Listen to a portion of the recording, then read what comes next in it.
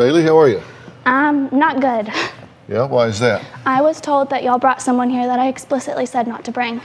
Yeah, who's that? Um, my biological mother. Would you like to leave? Um, Because you can certainly leave, because nobody tells me who to put on my show, including you. Okay. So, because you may live in fantasy land, but I do not.